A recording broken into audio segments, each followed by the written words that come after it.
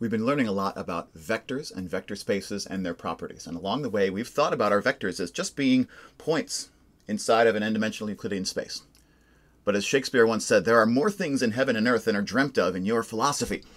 Vectors are so much more than just points or arrows inside of an n-dimensional space. They can be a lot of different things. One of the reasons for studying vector spaces the way that we do is so that we can see that kind of algebraic structure in other places and use linear algebra to study other kinds of objects.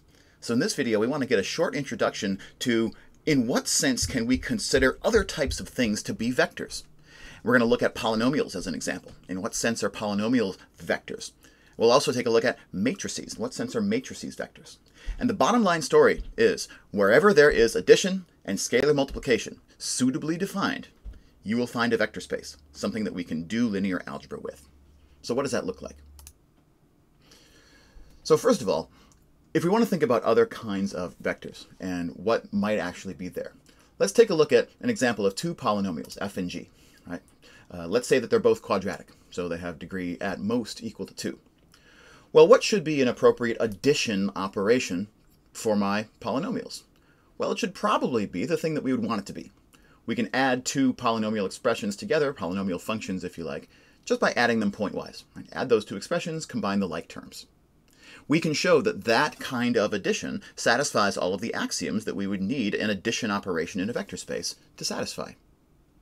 Same thing for scalar multiplication. If I want to multiply one of my polynomials by 2, for example, I should just be able to distribute that 2 and simplify out. The sort of obvious thing. We can show that that scalar multiplication operation also satisfies the axioms that would be needed for a scalar multiplication operation in a vector space. And it also interacts with the addition operation in the way that we would need it to. And so the bottom line of that is that if I look at the set made of all of the polynomials that have degree at most 2. We're going to call that set P2. That set gets to be a vector space, even though we don't usually think of the objects inside of it as being vectors. Usually we think of them as being, oh, they're functions I can do calculus with.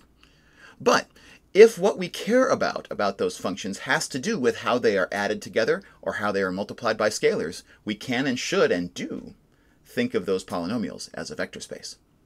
Notice we have to put a limit on the degree here um, because, well, I guess we don't have to. We could have infinitely many different degrees of polynomial all in the same bucket because anytime I add two polynomials, the result is a polynomial. Anytime I multiply a polynomial by a scalar, the result is still a polynomial. But that vector space would be infinite dimensional, and we don't have the tool work this semester to study infinite dimensional vector spaces. So polynomials can be considered to be vectors, so we can do linear algebra to answer questions about how polynomials add and subtract and multiply by scalars with one another. And our second example is going to be to think of matrices as though they are vectors. So what might that look like? Well, let's suppose that I have a matrix of some sort. Let's say it's the matrix that has entries negative 6, 4, 3, 5. Um, and I have another matrix. What should it mean to add those two matrices together? Well, it should probably mean the obvious thing, right? We add the first row, first column element to the first row, first column element, and so on. So we add these two matrices component-wise. That defines an addition on the set of matrices that satisfies all of the properties we would need an addition operation in a vector space to satisfy. Similar story for scalar multiplication. If I want to multiply a matrix by a scalar like 3, we should probably do the obvious thing, where I multiply that 3 by each of the entries of my matrix and then simplify.